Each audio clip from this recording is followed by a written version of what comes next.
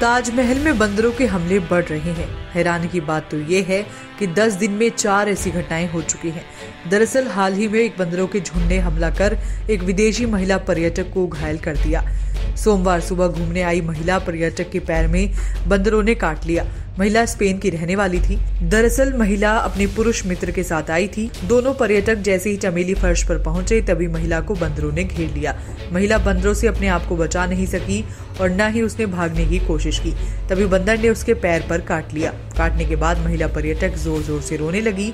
रोते बिलकते देख मौके पर मौजूद एक फोटोग्राफर ने प्राथमिक उपचार कर दिया। फोटोग्राफर ने महिला के पैर में कपड़े की पट्टी बाँध। दी इसके बाद दोनों पर्यटक होटल के लिए रवाना हो गए। वे ग्यारह सितंबर को तमिलनाडु के एक पर्यटक को बंदरों ने काट लिया था।